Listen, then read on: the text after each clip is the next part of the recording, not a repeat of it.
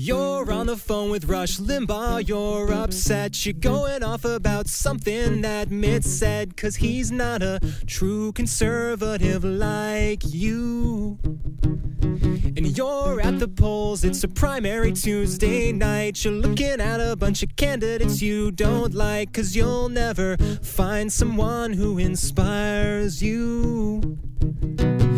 Rick Santorum scared of gay folks. There's no way he can win any swing votes. Vote for Ron Paul, and I'm sorry to say it'd be like Barry Goldwater versus LBJ. Can't you see you need a candidate who's been campaigning for six years unsuccessfully? You should vote Romney. You should vote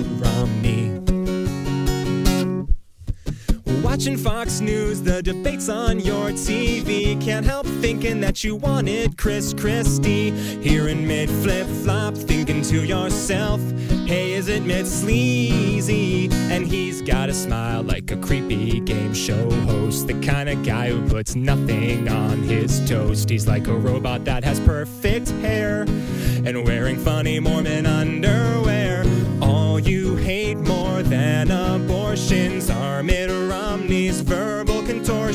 Every other day, he'll be changing his mind, pretending he agreed with your views this whole time. There are so many good reasons not to like him, but for his electability, you should vote Romney.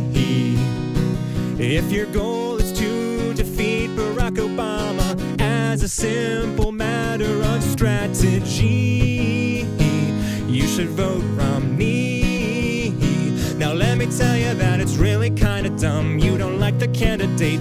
Single greatest chance to defeat the guy you hate. I know your favorite thing is to loathe his liberal schemes, but you're gonna help him stay until 2017. Can't you see that he's the only one who could make Marco Rubio become the VP? You should vote Romney.